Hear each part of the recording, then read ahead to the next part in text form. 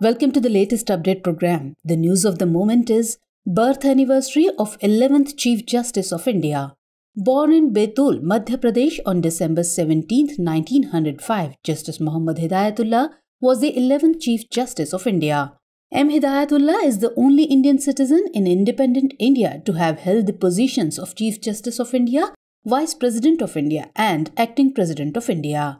December 3, 1954, Hidayatullah J was appointed Chief Justice at the Nagpur High Court, which made him the youngest Chief Justice of a High Court during his time.